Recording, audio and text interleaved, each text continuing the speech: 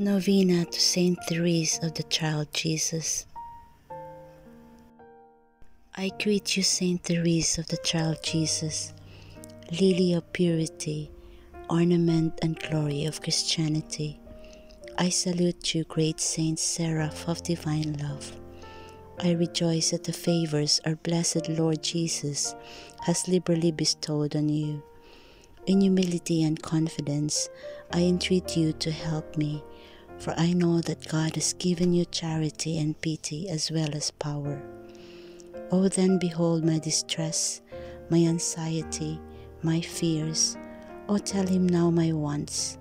One sigh from you will crown my success, will fill me with joy.